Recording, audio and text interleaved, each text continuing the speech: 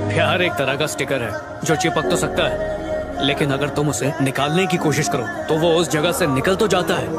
पर फिर कहीं नहीं चिपकता निशान छोड़ जाता है हमेशा हमेशा के लिए